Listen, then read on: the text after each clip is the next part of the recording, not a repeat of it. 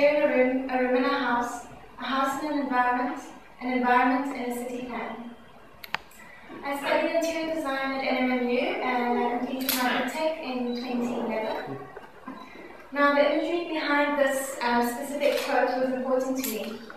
And when it came to choosing a focus or theme um, for, um, on which to base my BTech thesis, I wanted to have a holistic approach. Reuse proposal was community enrichment center in the form of a business complex. My main theory I looked into was is what is called holistic ecological design. A design approach which includes social responsibility, sustainability, the importance of design and place, as well as using nature as a model. With the emphasis on the idea that everything is constantly interacting with everything else in an interconnected cycles. The result of my BTech, um, my BTech design was a web of businesses with interconnected functions working as an ecosystem, jointly utilizing um, its waste streams and cycling their materials, whilst providing for the specific needs of the community I based it on.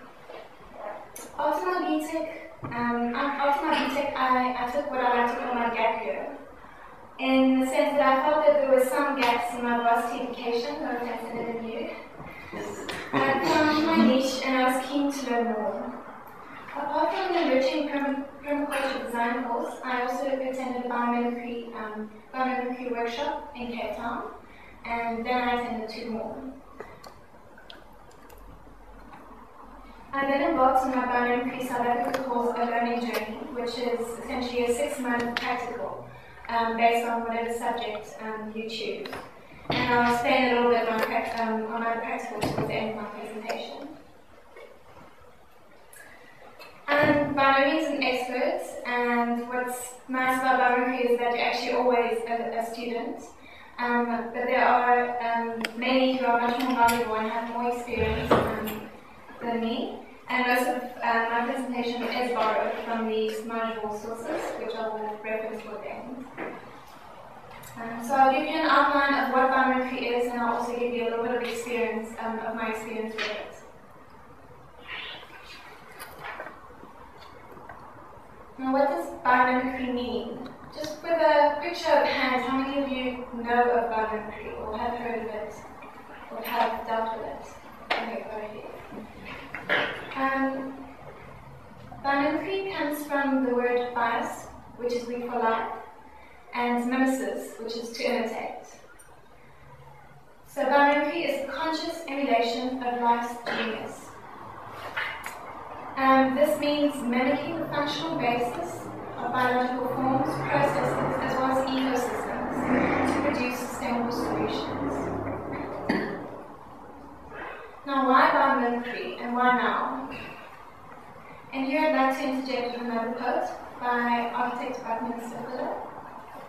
You never change things by fighting the existing reality. To change something, build a new model that makes the existing model obsolete. As mindful as we may become of the impact of our work on the environment, there's only so much that can be done with the existing paradigm, within the existing paradigm. If we remain stuck in a waste generating inherently polluting model of development, then we will only ever get to less bad or less, less unsustainable um, in our use of the natural world and never to good. It's that entire paradigm that we have to render obsolete designing out waste as such by ensuring that as much as possible of what we create can be, um, remains useful to us for as long as possible, in one way or another, and performs functionally with zero impact on the natural world. Let's go back to that quote, quote quickly. A new model. What better model for sustainability than our counterpart species, from animal to plants, fungi and bacteria, who have managed to survive for 3.8 billion years compared to our feeble and dwindling 200,000 years. Our search for mentors brings us back into contact with the living world, a place we were tuned to appreciate.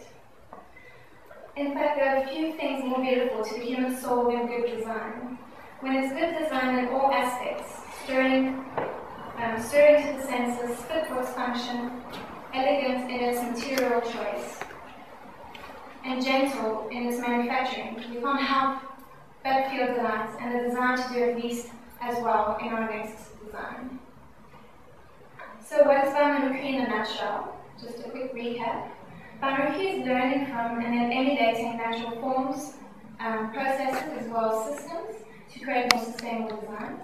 The core idea is that nature has already solved many of the problems we are grappling with. Energy, food production, climate control, benign chemistry, transportation, collaboration, and more. Mimicking these earth-static designs can help humans leapfrog to technologies that sip energy, shape material use, reject toxins, and work as a system to create conditions conducive to life. I want to emphasize that phrase, to create conditions conducive to life, which is a key phrase which you can see um, being repeated throughout. So given its depth and breadth, how does one categorize biomimicry? Is it a design discipline, of science, a problem-solving method, a sustainable sustainability ethos, a movement, a stance toward nature, a new way of viewing, valuing biodiversity, or is actually all of these? And how does biomimicry fit into other design paradigms? Because of its broad range, biomimicry contributes both practically and philosophically to many of the eco-design paradigms devised in the past 30 years. Um, these include the natural step, uh, the natural capitalism, cradle to cradle, ecological design, and the living building challenge, which some of you might be familiar with. And Boundaries at once, um, yeah, I did say that. Now, throughout history, architects have looked to nature for inspiration, for building forms and approaches to decoration. We're here to look beyond the aesthetics and into the functional processes. Particular aspect of nature as source book that is distinct from the majority of architectural references to the natural world. In the intention of biomimicry and the, the key of applying it to architecture is whether the design engages with the function delivered by a particular natural adaptation. To move from shadow to deep biomimicry requires to engage in an ongoing conversation with the model organism we have chosen to use, and to mimic what we learn on at least three levels. Now these three levels are three levels of biomimicry, the first level of biomimicry is the mimicking of natural form.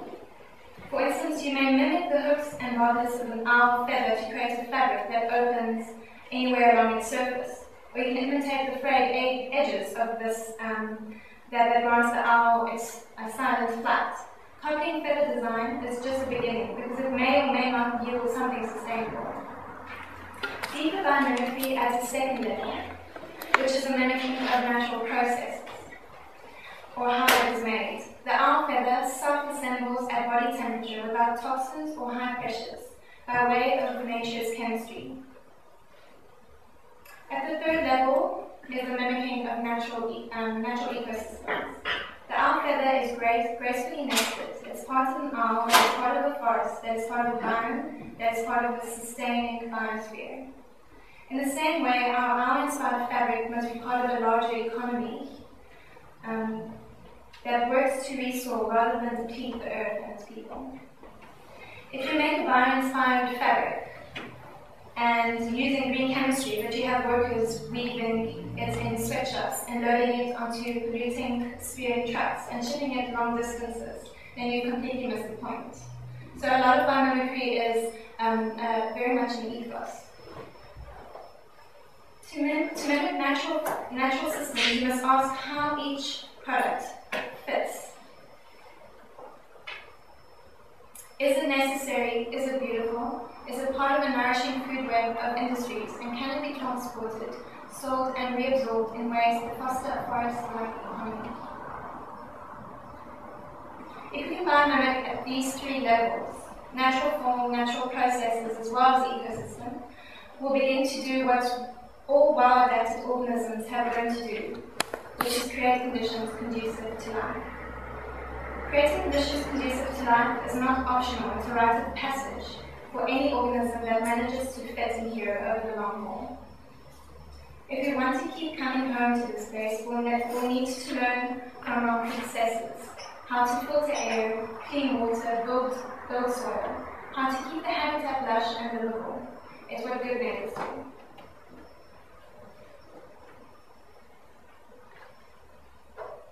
Now it's important to mention that biomimicry is not new to the human species.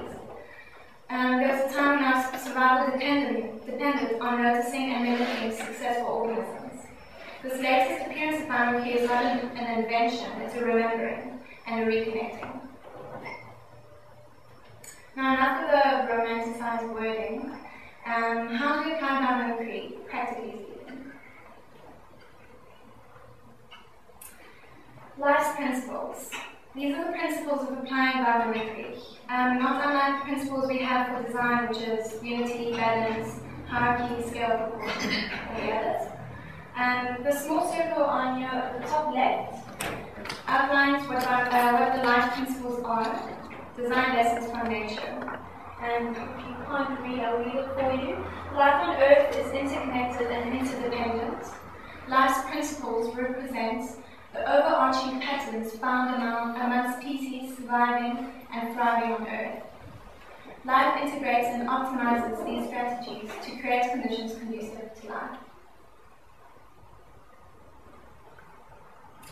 The set of principles is a result of and subject to the operating conditions of the planet, found in the, the blue uh, arrow at the bottom. Um, and these are sunlight, water, gravity, dynamic non-equilibrium, limits and boundaries, and cyclic processes. Life's operating conditions reminds us of what is driving the adaptations. The center of the circle, um, in the middle where that little plant is, is both the aspirational goal and the emergent property of these principles, which is, a guess, creating conditions conducive to life. Um, then we have the principles all around it, and which are clustered both in similarity and relatedness, as well as with a degree of hierarchy. You'll see the major ones are at the um, outskirts, and then the inside ones are the sort of sub sub um, categories. Um, just as no principle stands alone, all principles are interconnected, and one is able to rearrange the sub principles and the master principles according to how, how you're applying it.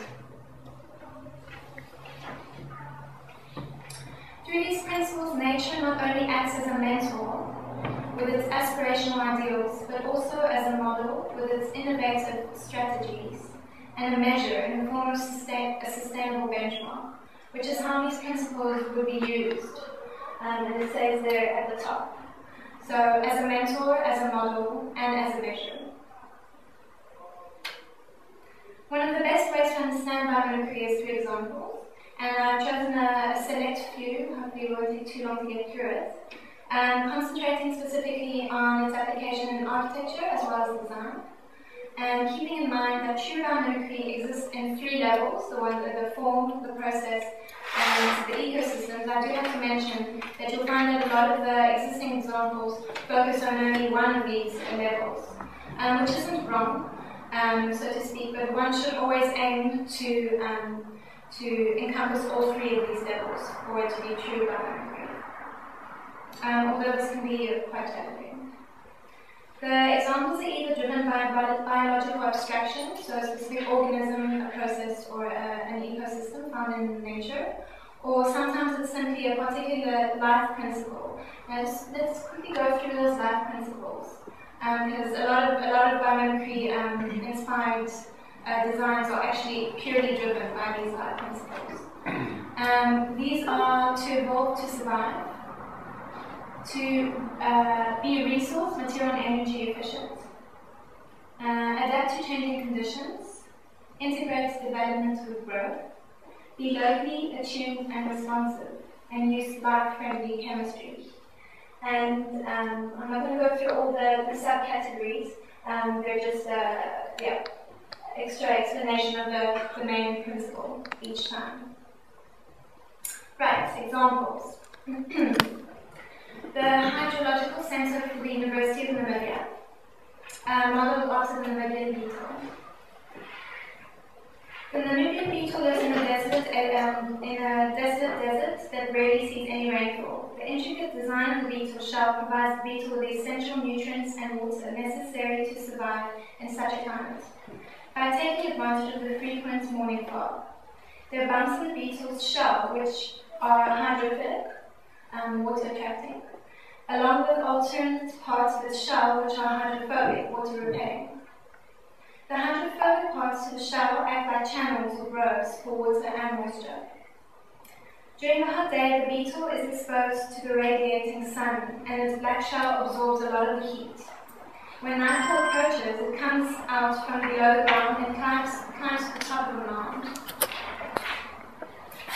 and waits for the morning to come. Because the beetle's temperature is a lot warmer um, than its surrounding, it's a beacon for moisture.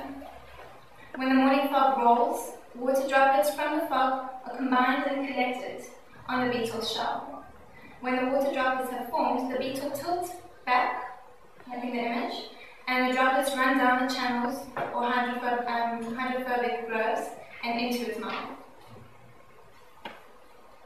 Architect Matthew Parkes was inspired to mimic the same type of technology into a building design to turn water droplets, droplets collected from fog and to use it as a well, and to from fog into usable water.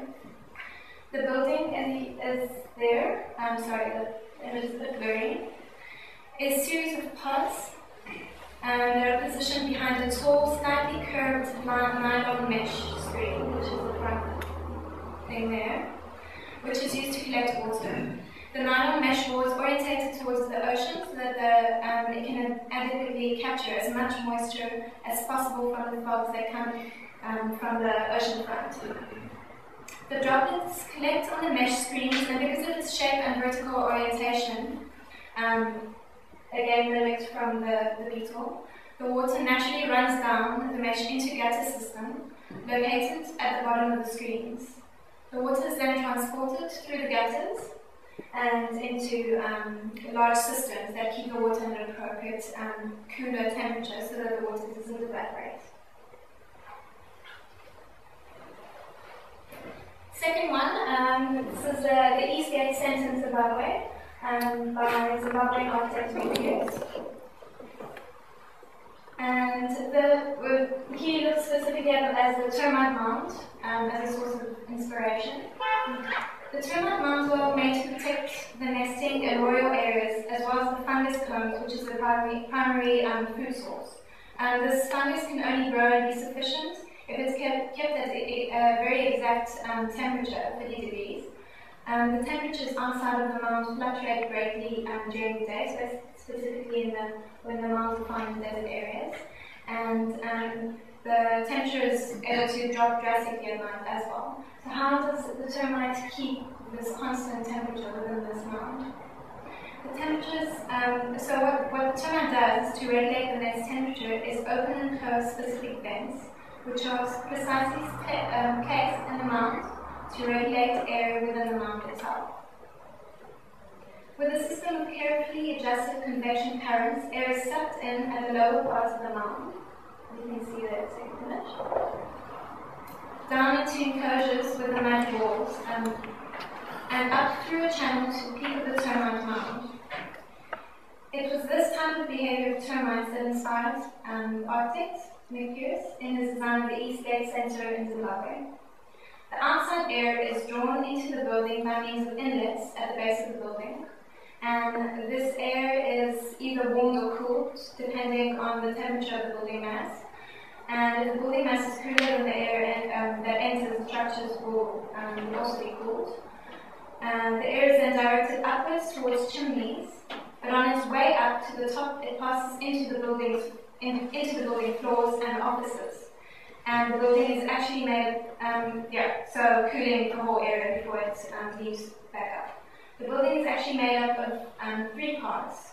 Two exterior structures, And then there's also um, a glass center that connects them together, which is um, the passage in between the two. The glass space in the center also participates in natural convection and is usually open to local breezes, um, sort of like creating a valley. And these reasons follow the somewhat familiar principle of temperature regulation. But what is remarkable about, um, okay, yeah, so this example, we, we've heard of this, this kind of temperature regulation in architecture. Um, what is remarkable about this is the scale that is um, um, at which it is applied. And this is with no other con um, conventional HVAC system. So no aircons, no nothing else for this. And this is in Zimbabwe where it's very hot. So, um, as well as the intricacy of the system, and if you have a chance, go and look at it, because there's, there's much more to it than what I'm now. Another um, really good example, um, also Mick Pearce, as well as a collaboration with other architects and engineers, and this is um, in Melbourne, Australia, is the Council House 2. And they've used quite a few natural models. Um, they based it on quite a few natural models, including um, tree and the mammalian um, skin. So that's some images of the building. For the H, um, the CH2T, the most compelling model for the building of the future nature. The diagram over here, to the left, um, was developed to visually capture the many natural analogies of the design, such as bark, skin, bronchi, and all the others that you'll see on the right mentioned. This was based on the concept of synergy. The building comprises of many overlapping systems, each being more than the sum of its parts. Building fabric, people, engineering systems, energy, flows, natural and man-made landscape all combine to form an interrelated whole, in the case of this building. Um, now, this building also has a lot of information and actually is very well documented, so I would suggest having a look at it um, if you get a chance. I had to um, sort of limit what I'm showing here, so I'm just going to point out some fascinating design elements within this building. Um, the horizontal form of the um, CH2 building was developed by incorporating basic features of the main skin, composed of the epidermis, there's the skin on the right, and uh, which is the outer skin, and then the, the dermis, which is the inner skin. Um, the outer skin allows breathing and interaction with the external environment, and this is seen on the eastern and western facade of the building while the internal skin protects the internal conditioned space. Uh, the, the, dermis is the outer zone that houses the stairs, the lifts, the ducts, balconies, shade screens, and foliage, with the inner line defining the extent of the compartment. And uh, we can sort of see what's happening there. Um, all structures within the dermis were kept lightweight and steel framed. The outer epidermis provides the microenvironment including the primary sun and glare control for the building, while helping to create a semi-enclosed micro, um, microenvironment for the user's output. User's output. Um, other very cool um, design elements of this building, which I'm not really going to go detailed into it, um, is the bark facade and the ventilation stacks. Here it's quite interesting as well, the north um, the north facade, which is the, the one on the left, um, has, you'll see the windows are larger at the bottom, where there's less, uh, because of, of, the streets and skyscrapers and all that, there's less sunlight, uh, sunlight that reaches there. And then towards the, the top of the building, the windows get smaller and smaller, because obviously there's more direct sunlight there. And um, also the look of the, having black um, on the facade to absorb um, the sun, while the other facade has, is white, so to reflect the, the sun, um, the heat. And then you have um, chilled panels and beams for cooling purposes. And then also it's very interesting shower towers, which, um, yeah, very interesting. Um, also, what's What's very important with this building, it, it makes use of and interacts with the cyclic processes around it, um, such as here you have um, day, the day mode, how the building functions during the day, and how it um, um, maximizes um, all, all, elements of during the day, the sun and the different orientations of the sun and all that. And then, so day and night and the changing seasons as well. So it makes use of all these cyclic processes, which is one of uh, very important of the life principles. so there you've got the day mode, the night mode, the sun mode, and then the wind mode.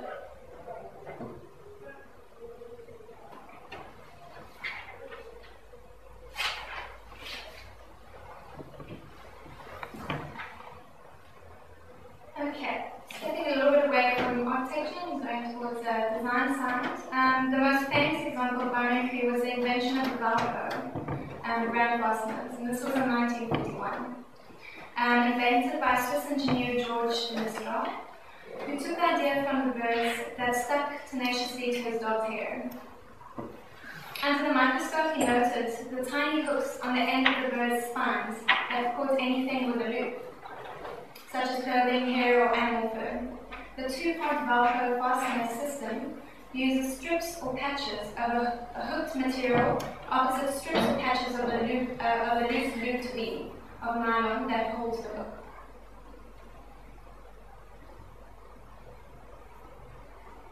The gecko tape, which is a natural product, is a material covered with nanoscopic hairs that mimic those found on the feet of gecko lizards.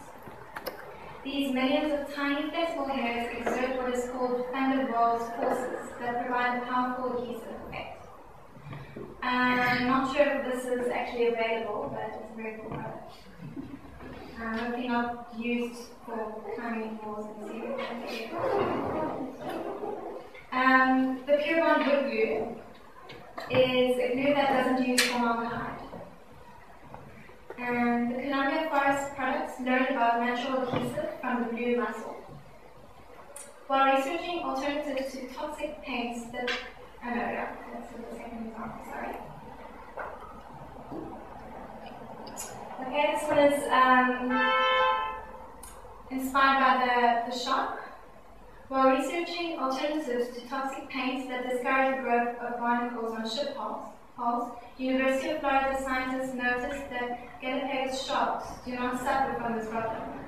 Uh, further investigation proved a microscopic pattern on the shark's scales made them naturally resistant to bacteria. When this, when this pattern is commercially replicated, replicated onto surfaces, surface coverings, and this would be a, a good use for um, hospitals for countertops or bathroom doors, um, bacteria growth is reduced by a staggering 80%. Another very good example is um, an LED coating, um, which was inspired by um, a firefly. The nighttime twinkling of inspired scientists to modify the LED so it is more than one and a half times as efficient as the original. Scientists identified an unexpected pattern of jagged scales that enhance the firefly's lantern's glow, and applied that knowledge to the LED design to create an LED overlayer that mimics the natural, natural structure.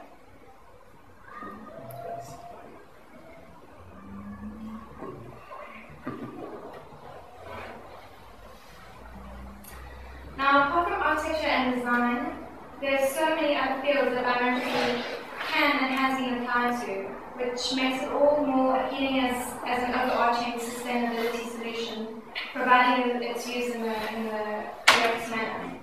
Other applications are shown here, um, which ranges from agriculture that grows food like prairies to to ecosystem-inspired cooperative strategies for businesses. So very interesting.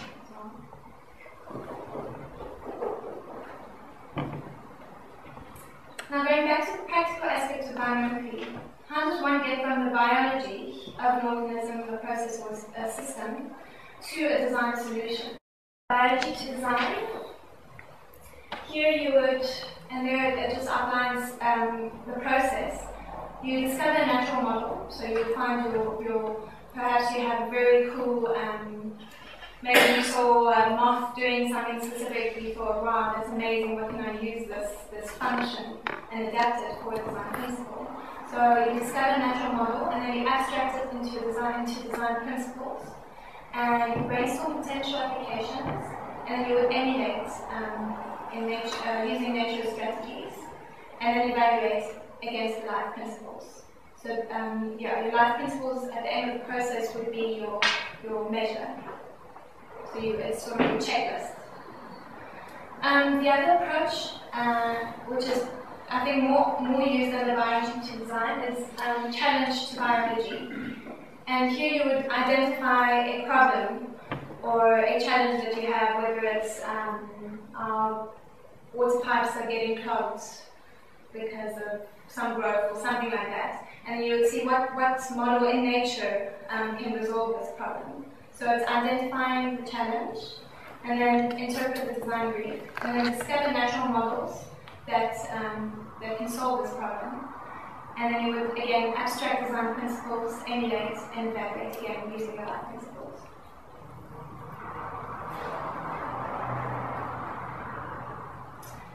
Alright, and um, just to help you understand that, I'm going to show you the, explain my, my practical. um, now, with the practical, the learning, the learning during practical, you apply to a subject, so you, you choose your subject, and this is Peru Biomimicry South Africa. Um, and you choose a subject and then you apply it to, to that subject. And um, I chose it um, I am doing my practical through John Barrett, who's here somewhere. And um, he's got an eco village outside of Humansdorp, um, and he's developing an eco village there. And so I've based my, my biomimicry pack um, in a specific, and the eco village would have different, um, from permaculture um, villages, as well as different um, houses, ecological houses, from tree houses to, to um, all sorts of different examples. And so the, the, the one um, that I'm, i am focusing on is um, a treehouse, or what I call an ecopod, in a specific site on um, John's um, farm. And um, so what happens is you would then define your challenge. Now my challenge was to design a module or unit of a human dwelling and to facilitate the integration of man and the environment and weaker parts to form part of the holistic community within the self-sustaining regenerative system in the nature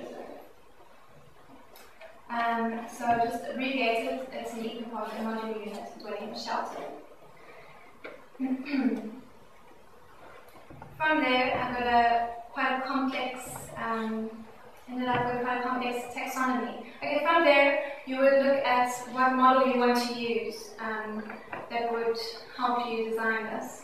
So you would ask, what, what does my design have to do? It needs to capture water perhaps, it needs to um, produce energy, it needs to house people obviously. Um, and then you would ask, how does nature do this? and then you look at the biology. Okay, for this um, for this example, I based it. I looked at the aloe um, because it's prominent in that area.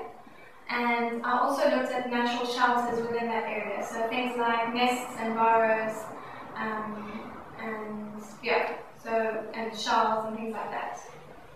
And then a lot of biology goes behind this, and you do a lot of research in the biology. and I'm just going to show you a few of um, a few of the design principles. So the abstracted biology into design principles that I came up with. The one of the questions was how does the aloe stay put or attached? Because my building is going to have to be attached somehow.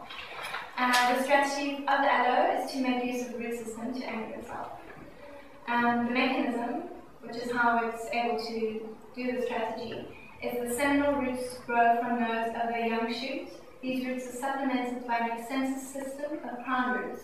These extended lateral branching plant growth, which permeate the soil, provide the anchorage and support to the plant. The plant's root system accounts for a greater percentage of the plant's total biomass than that of the shoot above ground system. This root-shoot ratio is maintained as the plant grows. Okay, so that's the biology. now you, you, need, you needed to take this biology and translate it into uh, design principle. And you do that by getting rid of all the biology and jargon. so the design principle for this one that I came up with is a subterranean anchorage system which accounts for a greater percentage of the structure's total mass that, than that of the above ground system.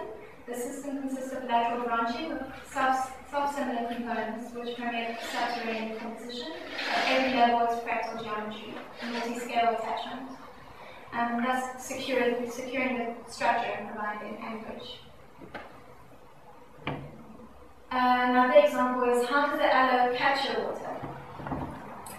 The associated strategy um, is that the plant's leaves are shaped and arranged in such a way as to capture water. it's uh, boat-shaped in cross, section. Uh, the leaves are boat-shaped and arranged in rosettes and acts as effective funnels through which rainwater and moisture are collected and channeled to the plant's roots.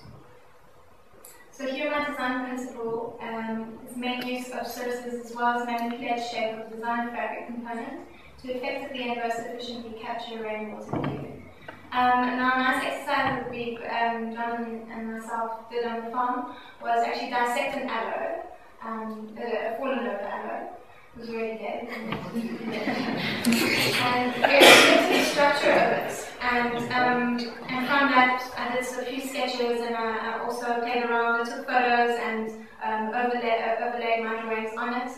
And it's amazing what you, what you can find out um, specifically related to the strategy of, of capturing water, um, is that the leaves are actually um, uh, angled away from each other at 137 um, degrees, and this is apparently a norm in most plants. And this is to so that um, all the leaves can capture the water, and then it's got a main um, the core. Uh, it all gathers into one the main stem.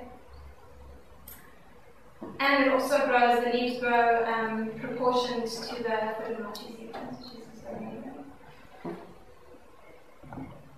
uh, another one, how does the aloe prevent structural failure?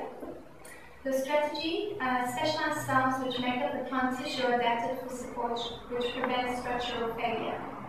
The mechanism, uh, parenchyma uh, cells, have um, unevenly thickened primary cells. Okay, that's quite a bit of biology there. And then my design principle is to use forgiving or tolerant materials which allow for movement with an uncontrollable force rather than to oppose or resist it by imposing rigidity in order to prevent structural failure.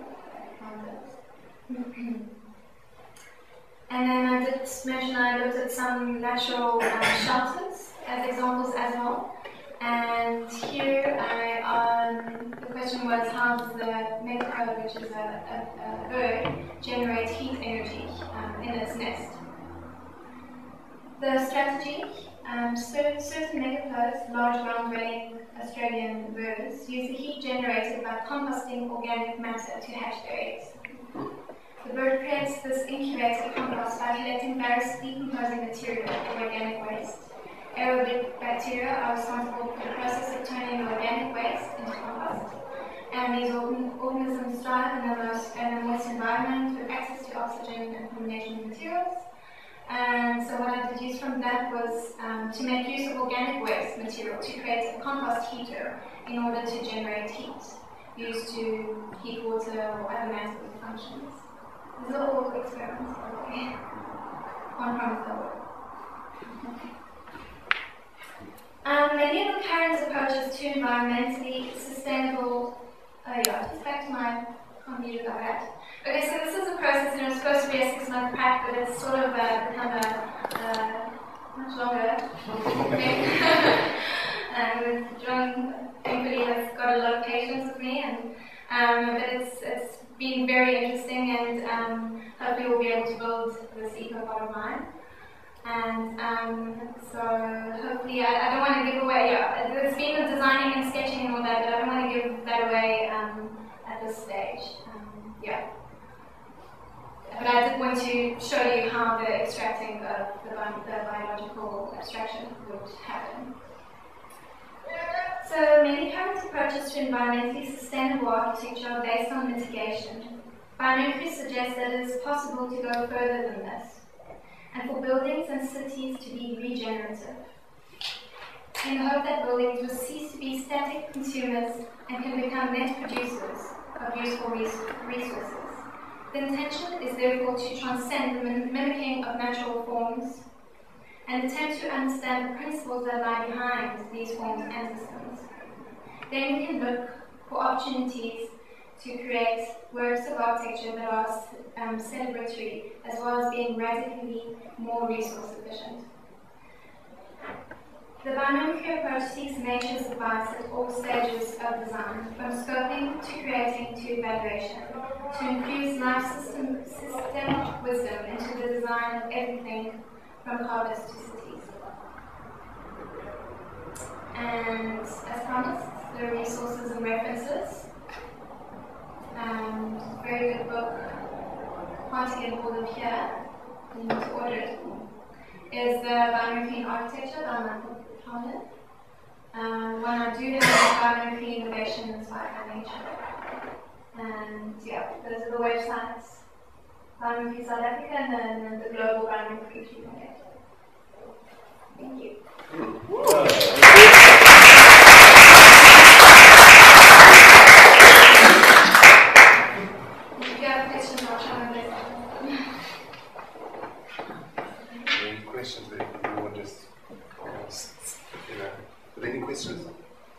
Just a comment. Did, uh, you told us how to make a chocolate cake, but you didn't let us taste, which is I'm hoping you guys will bring things. Could I'd just like to say thanks, thanks for your, thanks presentation, Monica. I think uh, it is going to open up our minds as well. So thanks, yeah, thanks, and uh, we'd, we'd actually like to see your chocolate cake. Yes. Just question. Do you think That's that my dad. do you think that the university will go into that a bit more, the architecture and design, interior design? Are they going to? Um, to have um, well, the interest is there. I know a lot of students are very interested and I've been contacted by, by a few. So the interest is there. So it's up to the, the lecturers and the, to change the system of it. Um, the, uh, the, the university in, in Cape Town, Biomimicry is part um, of their architectural as well as design from industrial design to, to interior design. It's compulsory. Part of their subjects, their course. Uh, ma- maybe a question just in terms of uh, Institute of Biomimicry South Africa and the Green Building Council. Do you see those organizations actually cross-pollinating um, ideas? Because you're mentioning the sustainability background or ethos really of biomimicry and green building is also about that. So Yeah. one would think there's, a, there's an overlap of ideas. The closest thing I can think of is the, um, the Living Building Challenge. Um, I'm not sure how much of that has been applied in South Africa, um, but it is a, a, um, a, a model that has been used and sort of in line with the green building um, rating system. And a different rating, but it's, it's um, in line and can be, you can get accredited for that, for the, yeah, Building Challenge. Um, I, I really enjoyed your talk. I think it was really great, and um, it's very nice uh, to to listen to um, um, perhaps people coming into the profession of design and built environment um, without too many of the preconceptions of this is how we, we have to do it. Yeah. That's, that's very nice. What I would like to put to you is that, in fact, uh, our cities are um, a result of biomimicry as they stand all over the world, including Port Elizabeth where we live. Except the organism that we have chosen to mimic um, without thinking is a, is a tumor. Is a- and we are we are mimicking a cancer, and um, we, we like a cancer we we have our cities don't know how to stop growing.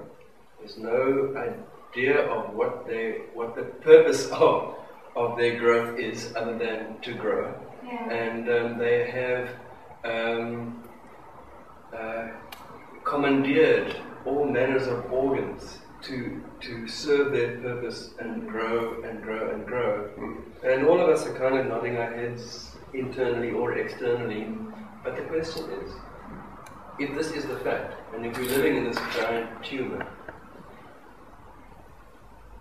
is there how much point is there to us trying to make our buildings look like gherkins or grasshoppers or hmm. dung beetles? If it's or is it all just a waste of time? I hope your answer's, I hope your answer's going to be no. but that's my question. It wouldn't be creating gherkins and things. It would be more, let's say, you're saying cancer. Maybe look at how how do you white blood cells, or how do how do they how do they um, combat these cancer cells. What's the keynote? Yeah.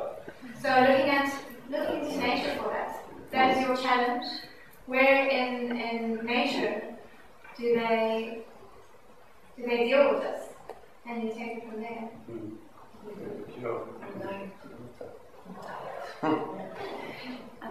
Can I ask now? My sister. Yes.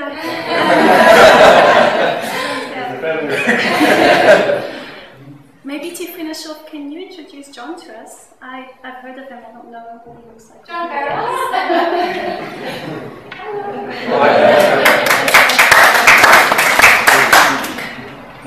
yes. Thanks. Um, I have two questions, and then my first question is, um, you know, socially, if we look at the South African context, where do you see the layman seeing this? Um, it's obviously difficult for, for, when I say lay people, people not in, in design thinkers. Um, how do you see them responding to biomimicry?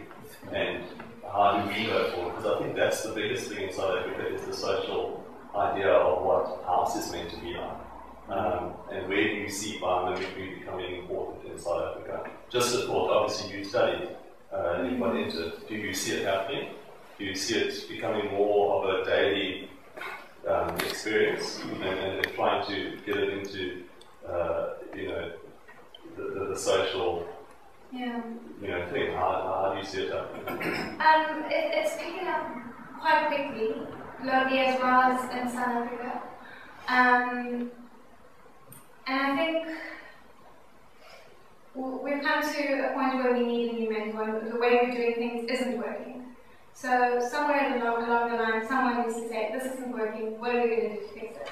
And if more people get um, interested in, in things like um, biomimicry, whether you're an architect or maybe a politician or um, yeah, someone high up there in whatever discipline you are, and you decide, right, I'm going to apply this, and you make that decision, and are people that take that decision and realize that it can be applied to practically everything. There's a model for everything. So hopefully there will be more than just architects and designers that get inspired by nature, but also um, politicians and people in the, in the social and, and higher places. And the second question is, are we able to follow you online? Is there somewhere where we can follow your chocolate crackers and so we can see the outcome? Um, I do have a blog, but I haven't blogged in ages. I'm on Twitter otherwise, but Can um, we Facebook you? yeah, you're more than welcome to. I'm probably more on Facebook than my blogging on Twitter. So, And there's only Yeah. one Winnicott USA. Okay. sorry. There's only one Winnicott USA. Yeah, no, so, yes. But don't you think that it's depending of people wanting to get out of virtual world where we are very much to the reality. That is the reality, and we lost like the the people in, in the past. They used to be closer to nature and copy nature and learn from nature, but our new society went out in the cloud and the virtual world and lost touch with that reality. Don't you think that depending if we can get down from the cloud to the, to the ground? Well, yeah, I think it's, it's, it's twofold. I think you're going to have your more techno advanced age, which is evolving, but you still have your very earth based people who are, you know, kind of rebelling and saying it's not working. Yeah. And you're going to have a more cyborg future and a more ground based one. And, you know, it's a choice of where you wish to put your energies and what you're going to latch onto. So I think there will be more of a divide, um, but it's, uh, it's, it's the individual's choice. I think more and more people are realizing that we are needing to take a few steps back because somewhere along the line we've done something wrong. And a lot of people have know that you have to go back to basics um, per se. But even, even if we do go to the, um, if there is techno-based or development or growth rather than more natural fundamental development, if those techno development can be environment inspired, also a step towards something better. Yes. Um, if, there, if there aren't any other questions, I, I would like to hijack the meeting for a quick commercial break and, and, and a short snap survey. But if there's other questions, I'll hold. Uh, I've got a comment. Um, I don't think we must take this biomimicry as kind of new lifestyle. We only become aware of biomimicry through our technology, through our microscopes, through you know advanced science, and it's a way of discovering further sciences and further technologies. It's not. I don't see it as as a new lifestyle, but it's a, a um, an evolving science that we can uh, discover things that uh, uh, nature has produced. And that's quite fantastic. But uh, you know, it's not a it's not a fad or a movement. It's it's a science. Don't you think the aim or the, yeah, the main aim at the end of the day would be to convince those more technological um, approach or um, driven individuals to see how their strengths could benefit the other extreme um, and convince them that together you, they come out with the best outcome at the end of the day rather than, you know, fighting each other the whole time. Convince the two to work together. Like the comment was just made, science help to um, discover all these natural um, solutions that you can apply. Yeah, it's no fact. Um, there's actually a lot of uh, technology inspired by biomimicry, and biomimicry is the, the, the technology of biology. Technology. No, there's no, there's no conflict. But it's just, it's not a social movement. Uh, I don't think one should get confused that it's all back to nature. Um, uh, I don't think it's that at all. That might be a, a particular way some people might move, but it, it can be used in any science, it can be used in outer space, whatever. Well, it's back to nature in the sense that nature needs to be your, your, your, your, your driving, your model, your mentor. and It's a source, creator. yeah. I think then, I'm going to try my commercial break now. Um, but um, I mean, other than thanking Philip for, for putting these talks together, Philip's, I mean, he's a professional architect and but he finds time in, in his life to organize these things. These things happen once a month, and uh, once a month, Philip finds a brilliant speaker, almost as brilliant as Windeka, to come talk to us about exciting new things in the world of design and the world of the built environment. So, so, Philip, thanks very much for that. Philip? Can you also say, uh, actually, know, we've got talk twice in, you know, every, every Twice a month, yeah. I said It's once a not- month. Twice a month. We've got the habitat, which is this talk, Yeah. and then we've got the architect and craft, which is more about building stuff and how to work with materials in like a design way, not you know putting a brick in the wall. But, but you can follow us on Twitter at um, ECIA. Uh, ECIA. ECIA. ECIAPE. You can follow us, we're on Facebook at Eastern Cape Institute of Architects, and all of these talks that Philip's put in together are, are, are on there, they're, they're very, very exciting. Um, so all of all of us that are here, uh, you're, you're welcome to attend. You're, you're, you're either architects or you're friends of the architectural profession. You're very, very welcome here. Many of you are familiar to these talks. The other thing, that was my commercial break, but the other thing was my snap survey. Um, and I just want to know, hands up, anybody that would not be interested in hearing Wendeka, Wendeka come back and talk next year about the progress with her project. Hands up, anybody not interested? 100% interest. Um, so, but, but then um, also anybody not interested in um, attending a talk that John Barrett may give us on his Honeywell Eco Village, John. Um, anybody not interested? okay, um, uh, John, if you wouldn't mind, I'm going to ask for them to, to, to make arrangements with you. Is that okay? Because I, I saw a lot of ears prick up when we mentioned the Honeywell, and I think it may be quite interesting for us to hear if, you, if you're okay with that. No, we'll be Thank you very much. Thank you very much. But it's a, um, we, we only choose the top speakers in town, so um, we, we have to arrange them um, in, in order. Thank you very much. No, Thank you very much, everybody, for attending, and we'll see you again here in two weeks' time on Friday at 12.